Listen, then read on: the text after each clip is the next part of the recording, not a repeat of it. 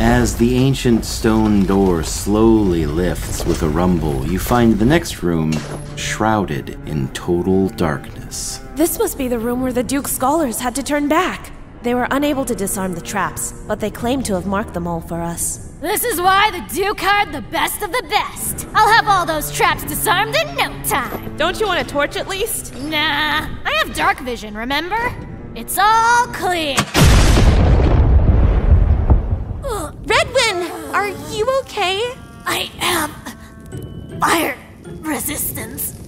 Ugh.